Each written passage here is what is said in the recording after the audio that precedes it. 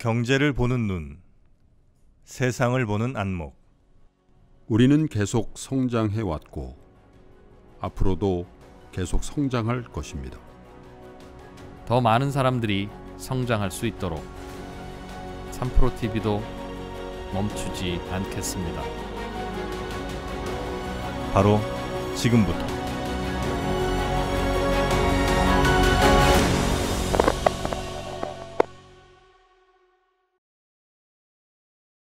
자, 그러면 뉴스 3 첫 번째 뉴스부터 전해 드려야 네. 되는데 지금 댓글에서도 어, 궁금해 하시는 분들이 많이 있네요. 음. 지금 이게 사실이냐.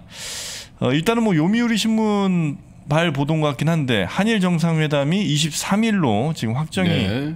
된것 같고요. 아, 우리 신문 몇 군데서도 일단 뭐 한 30여 전 30여 분 전서부터 에, 속보로 요미우리 발 뉴스를 전하고 있어요. 네. 한일 정상회담 23일 확정 그리고 에, 일본 측에서는 사전 사전적으로 뭐 당연합니다마는 소마공사 그 망언했던 소마공사 있죠. 네. 에, 경질을 하고 에, 그리고 나서 이제 에, 문 대통령이 에, 방일을 해서 어, 23일 날 에, 스가 아, 총리하고 정상회담을 갖는다 이렇게 네. 이제 보도가 나오고 있어요.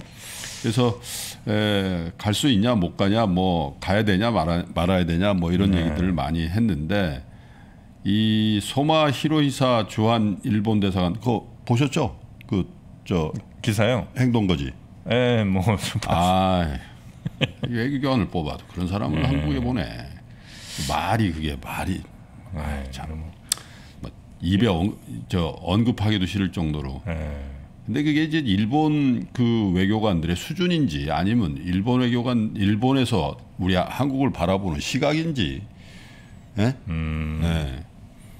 그게 우발적인 건지, 하여튼 네. 그런데 어쨌든 에, 정리가 이 에, 보도가 사실이겠죠. 에, 이게 뭐 대체로 이제 일본 에, 총리실이라든지 우리 청와대에서 이제 확인을 할 텐데 에, 도쿄 아카사카 영빈관으로 회담 장소가 결정이 됐고 위안부 및 강제징용 피해자 관련 문제 등 최근 한일 관계 악화의 원인이 된 문제들이 논의될 것이다. 이렇게 이제 보도가 됐어요. 근데 어쨌든 어제까지만 하더라도 대통령의 방일이 물 건너갔다는 분위기가 많았었죠. 왜냐하면 네, 네, 이제 네. 한국 정부 입장에선 야 뭐 우리가 가서 그냥 들러리 쓸 수가 있냐. 그리고 정상회담을 하려면 한일 간의 현안이 엄청나게 많은데 그 부분에 대한 심도 깊은 논의라든지 어떤 그런 있어야. 그런 얘기 있잖아요. 정상회담은 실패한 정상회담이 없다. 뭐 음. 재작년인가 뭐 저 김정은과 트럼프 때 깨져버렸지만은 네. 아젠다 세팅 다 하고 결과물이 나오게끔 한다는 거 아니에요? 그 결과물 없이 가서 뭐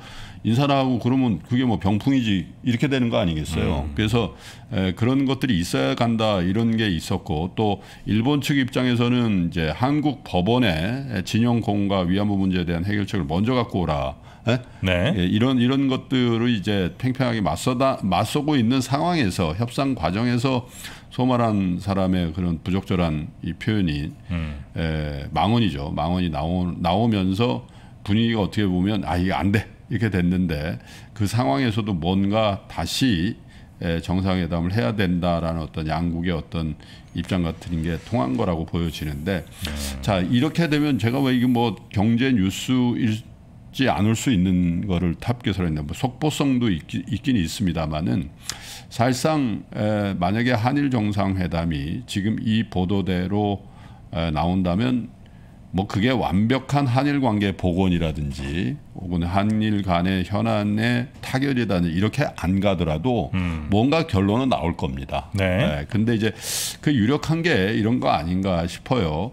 에, 일본이 2019년 7월부터 실시하고 있는 반도체 핵심 소재 수출 규제 이거 사실 유명무실해진 거 아니에요, 이거.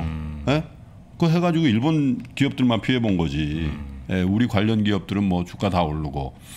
예, 그렇고 그런 것들을 이제 우리가 이게 문제가 있다라고 해서 네. WTO에 제소를 하는 상황, 상황이거든요. 네. 그래서 이제 수출 규제 철회하고 WTO에 제소를 철회하고 그리고 이제 미국의 이제 입장이라는 게 이제 트럼프에서 바이든 행정부로 넘어서 동맹의 강화 아니에요. 음. 근데 한일 관계가 이 어색하고 계속 이렇게 불협화가 난다는 건 에, 일관된 그 대중국 동맹의 전열의 문제가 있다라고 미국은 볼 수 있는 거죠. 음. 네, 그게 네, 이제 지소미아죠. 군사정보 보호 협정을 완전히 복원하는 방안. 이게 기한부 아닙니까? 네. 그래서 에, 이런 부분들에 대한 에, 결론이 나올 수 있다라는 그런 생각도 듭니다. 음. 만난다라는 전제가 맞다면 그래서 에, 그렇게 되면 이제 한일 관- 관계의 어떤 개선에 에, 관련된 에, 증시의 반응도 에, 조금 음. 우리가 주목을 해봐야 되겠다. 한일 관계 개선 관련주 뭐 이런 것들이 있거든요. 네. 그래서 에, 물론 이제 코로나 상황에서 예, 그런 것들이 얼만큼 작동이 될는지는 모르겠습니다만은 어쨌든 만약에 만나게 돼, 된다라면 이런 가시적인 성과가 꼭 음. 에, 있어야 되지 않겠나 그런 생각이 들고 일본에서도 에, 아마 에, 이런 스가 총리의 지지율이 20%예요 지금. 예. 네. 얼마 안 됐잖아요. 그러니까 이게 사실 뭐 거의 의미 없는 네. 정권이다 이런 정도로 생각이 드는데 에, 뭐 올림픽도 지금 문제가 많더군요. 뭐 내부에서도 이제 확진자가 나오고 막 이런 음. 네, 네, 상황이고 한 가지 잘한 건 우리 저 선수단 그, 그 홍보 책임자가 그 칭찬해주고 싶어요. 범 내려온다. 그거 아주 기, 기가 막히던데. 어, 난 그게 네네. 뭔지도 모르고 뭐 범 내려온다 이게 이게 선수촌 거기 쭉 내렸더만요. 그 음. 이순신 장군 뭐 이거 문제되고 뭐 그래 그래서 어쨌든 네. 한일 정상회담이 열릴 것이다라는 에, 보도가 속보로 들어와 있습니다. 네, 아마 오늘 내일 계속해서 이제 뉴- 관련 뉴스가 많이 좀 나오겠네요. 예, 이건 저희가 한번 잘 살펴보면서 또 전해드릴 아, 경제 관련 뉴스들이 있으면 또 어, 여러분께 저녁 또 아, 글로벌 등등에서 전해드리도록 하겠습니다.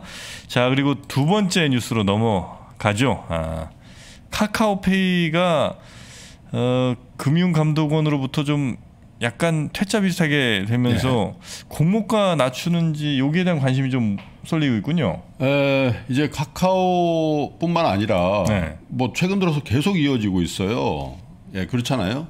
에, 크래프톤도 그렇고. 아. 그래서 계속 근데 이제 이번에 이제 금융감독원에서 이 반려를 한 거는 이렇게 음. 얘기가 됐어요. 뭐냐면 증권 신고서 형식을 제대로 갖추지 않았거나 투자자의 합리적 판단을 저해하거나 오해를 일으킬 수 있어 정정 신고서를 요구했다. 이렇게 이제? 애매한 거죠. 근데 이제 업계에선 야 이렇게 큰 회사 주관사들이 얼마나 철저하게 했을 텐데 음. 뭐 보기에 따라서 그럴 수도 있지만 턱 꼬집어서 이게 잘못됐다 이게 잘못됐다 얘기를 하지 않았기 때문에 아 이게 이, 요, 요, 요, 요런 데 더 방점이 있는 거죠. 에, 투자자 보호 가능성. 그러니까 오해를 일으킬 수 있어. 합리적 판단을 저해하거나 네, 오해를 네. 일으킬 수 있다. 이게 뭐냐면 결국 관건이 뭐예요? 비싸다는 얘기잖아요. 예, 그래서 쓱 밀고 이제 다시 갖고 와 이렇게 에, 가져오라는 거죠. 근데 어쨌든 에, 카카오페이가 지난 2일에 제출한 증권 신고서에서 희망 공모가를 6만 3천 원에서 9만 6천 원으로 했는데 에, 9만 6천 원으로 된다라고 보는 거잖아요. 최근에 네, 더 네. 상단에서 되니까 그럼 시가총액이 얼마냐? 12조 5,152억 원이에요. 에, 하나금융지주가 13조 정도 되거든요. 네. 그러니까 하나금융지주. 하나금융지주 하면 여러분 은행이 몇 개가 합쳐진 건지 아십니까? 하나은행이 있었죠. 네. 보람은행 먹었죠. 보람 그 다음에 충청은행 먹었어요. 그 다음에 서울은행 어. 먹었어요. 외환은행 먹은 거예요. 아, 하나 외환. 아. 하나은행이 하나은행 하나가 아니에요. 네네네. 하나은행이 뭐 처음에 조그맣게 생겨서 아, 보람은행 그럼- 합병했죠. 아, 그 다음에 서울은행 합병해서 서울. 충청은행 있었는데 진짜. 아, 그리고 충청은행 그 하나충청, 충청하나은행 아. 거기다가 거기다가 뭐예요? 외환은행 우리나라 기업금융이 네. 가장 큰다라고 했던 외환은행을 합병한 이 은행보다 카카오 페이가 페이 뱅크 말고 페이가 더 높다라는 네. 거잖아요 이게. 그러니까 이게 야 이게 맞냐 이런 이제 얘기들을 했다는 거죠. 근데 이게 제가 이것만 그런 게 아니라는 얘기했잖아요. 진단 키트 업체 SD 바이오 센서 저도 이거 두 번 해봤거든요. 6만 6천에서 8만 5천 원인데 이게 반려되니까 4만 5천에서 5만 2천 원 낮춰서 신고를 했어요. 거기다 게임 개발사 크래프톤도 45만 8천 원에서 55만 7천 원이었는데 네. 40만 원에서 49만 8천 원으로 하향 조정을 했단 말이에요. 네. 이 하향 조정한 폭이 굉장히 많아요. 야 그러면 애초에 한 게 맞는 거야? 애초에 받았으면 이대로 됐을 거 아니에요. 아. 그러니까 이번에도 아마 6만 3천에서 9만 6천 원으로 제시를 한 거를 요 수준대로 낮추면 상당히 낮아진다라는 얘기잖아요. 근데 이렇게 낮추면 음. 결국 그 공모 신청한 사람 그러니까 공모만 사람들 더 몰리고 왜냐면 더 뭐 따상 아니 갈뭐 거라고 그럴 수도 있는데 네. 그럴 수도 있는데 에, 높아 높 이 이제부터 시작해서 더 먹을 수 있다는 얘기잖아요.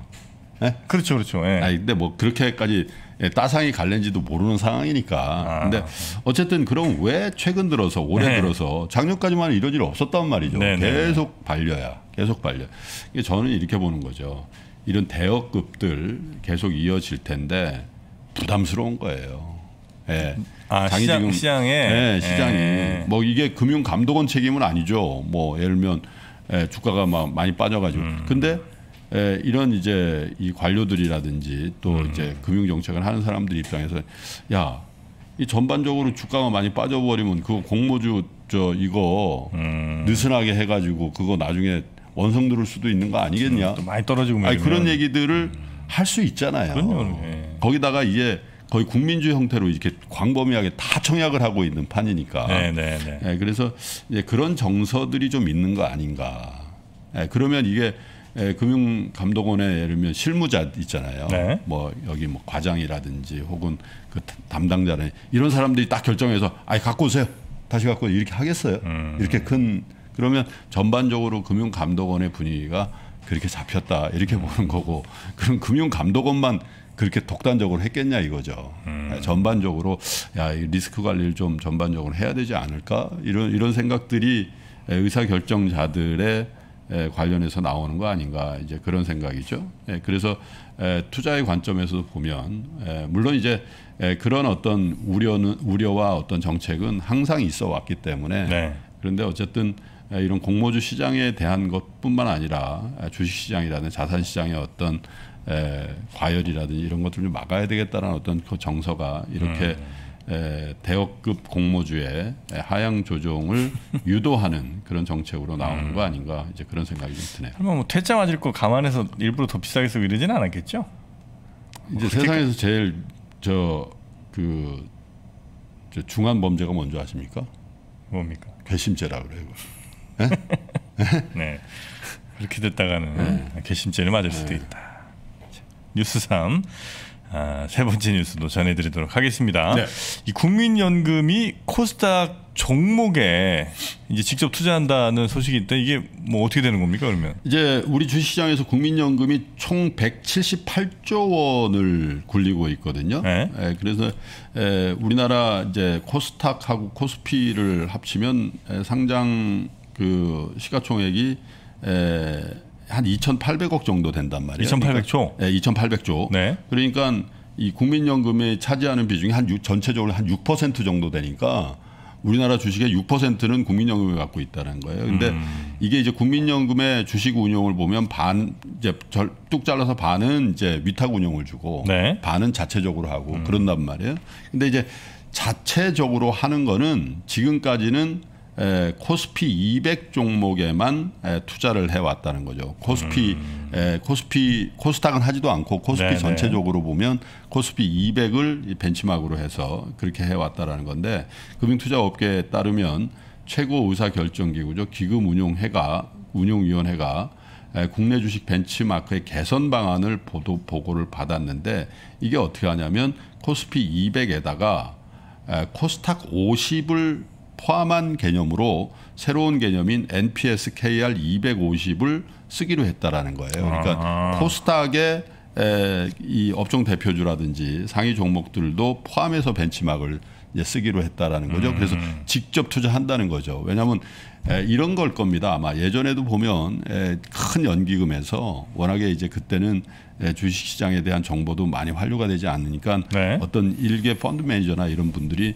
아주 조, 조그만 종목 사는 거예요. 음. 그럼 급등해 버리죠. 네. 근데 거기서 또 에, 어떤 다른 거래가 있을 수도 있고 그러니까 아예 큰 종목만 해. 이렇게 음. 뭐, 연기금들은 예, 해온 예, 거거든요. 근데 이제 코스닥 시장도 이렇게 우리나라를 대표하는 이제 기술 기업이나 바이오 종목 이런 게 많은데 국민 연금에서 직접 투자 안 하는 게 맞냐 이렇게 이제 문제 제기가 된 거겠죠. 그래서 어쨌든 에, 이렇게 되면 이제 최근 들어서 차트를 하나 보여주시면 제가 지난주에 코스닥 시장에 어, 외국인하고 연기금이 좀 사는데요. 특히 외국인이 코스닥 시장에 순매수를 유지하는데 이런 음. 보도를 한번 해준 적이 있잖아요. 자, 3월, 4월, 5월, 6월, 7월에 코스피는 계속 그 팔았는데 네. 코스닥은 계속 산 거예요. 850억, 2,300억, 640억 연기금이요. 네. 코스닥에. 그래서 모르겠습니다. 이런 것들이 이제 선 반영되는 건지 모르겠는데 어쨌든 에, 코스닥 시장의 수급은 이렇게 되면 굉장히 좀 좋아질 가능성도 있는 거 아니냐 이렇게 이제 보도가 나왔습니다. 당연히 시가총액이 큰 바이오 IT 관련 기업이 혜택을 볼 것으로 예상을 하는데 한 자산운용사 대표가 이제 에, 여기 이제 보도에 코테이션을 단 걸 보면 코스닥 시장에서 바이오 비중이 가장 크니까 바이오가 일차적인 수혜가 네네. 될 수가 있고 산업적 안배를 고려하면 IT 관련된 그리고 최근 들어서 이제 ESG 투자를 많이 한다고 네, 네, 하잖아요. 이럴 수도 있겠다는 생각이 들어요. ESG 투자를 늘리는데 코스닥 쪽에 ESG에 관련된 음. 기업들이 있는데 그럼 코스닥 직접 투자를 안 하냐? 이런 문제 제기가 있을 수 있잖아요. 그래서 환경, 사회, 지배 구조를 고려한 투자 쪽에서도 코스닥 기, 코스닥 투자의 기회가 있지 않겠냐 이런 전망들이 나옵니다. 어쨌든 이게 이제 시행은 바로 하는 건 아니고 내년부터 이제 이 벤치마크를 쓴다고 하는데 그렇게 되면 이제 국민연금의 돈을 받아서 위탁 운용을 하고 있는 자산운용사나 에, 투자 자문사 입장에서는 이런 것도 좀 미리 사고 싶은 생각이 좀 들지 않겠어요? 에, 나한테 돈을 준 그 모펀드 국민연금이란 큰 돈에서 이런 종목을 사고자 하는 게 겨- 방침이 결정이 됐다면 본인들이 먼저 좀 사고 싶지 않겠냐 위탁으로는 살 수 있으니까요 네, 그런 생각도 들어서 에, 코스닥 쪽에 조금 주목할 만한 네. 뉴스가 전해졌습니다. 오- 코스닥 50, 그러니까 상위 50개 종목 중에 국민연금이 막 하, 하고 싶은 투자를 골라서 한다는 거죠. 직접 한다는 직접 거죠. 산다는 예, 거죠. 맞습니다. 예. 어, 이 벤치마크는 뭐예요? 이제? 벤치마크라는 게 이제 이제 기준이 되는 수익률이죠. 네, 네. 그래서 우리가 펀드 매니저들 그 운용사를 그 성과를 이렇게 그 뭐랄까 판별할 때 그때도 뭐 코스피 200을 네. 벤치마크로 하냐 그렇죠. 뭐세 이런 얘기 가지 세 거죠. 가지 기준을 두고 하거든요. 하나는 벤치마크를 비트했냐. 그러면 이제 한국 우리가 이제 공모형 그 저 주식 펀드에 가입을 했다. 그러면 네. 잘했냐 못했냐를 이제 판정할 때 네. 판명할 때 아 코스피 200 음, 그걸 네, 넘었냐? 뭐 이런 지수를 비트했냐 네. 이걸 보는 거고 두 번째가 이제 절대 수익이 났냐 음, 아니, 비트를 했는데 마이너스야 그건 뭐 좋은 건 아니잖아요 음. 세 번째가 이제 순위를 매기거든요 예, 전체 연기금 내에서의 음. 국민연금의 순위는 어떠냐 아니면 전체 글로벌 예를 뭐 캘퍼스라고 캘리포니아 그 무슨 펀드 있고 일본 네네. 에, 국부펀드 있고 뭐 노르웨이 국부펀드 아. 있고 이런 거 하고 비교해서 몇 등 했냐 요 세 가지를 봐요 음. 네네네. 근데 가장 중요한 건 벤치마크 수익률을 beat했는가. 그게 이제 통상 지수를 얘기하죠. 음. 네네네. 시장 지수. 그래서 뭐 여기서 벤치마크는 왜 나오나 음. 뭐 궁금했었는데 여튼 그런 아, 평가의 기준이 되는 건 이제 보통 벤치마크라고 합니다. 네. 자 그러면 아, 뉴스 삼은 요 정도로 어, 정리를 하고요. 음. 아, 코스닥 50 어, 한번 제가 잘 한번 살펴보도록 하겠습니다.